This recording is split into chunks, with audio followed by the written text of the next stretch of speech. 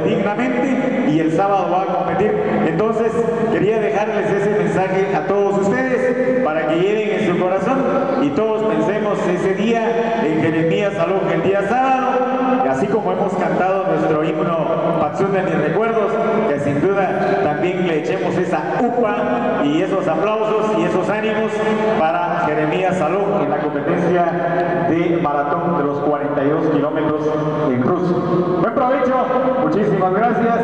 Si Dios nos presta la vida, pues estaremos en la próxima. Solo decirles, yo soy un profesional como tal,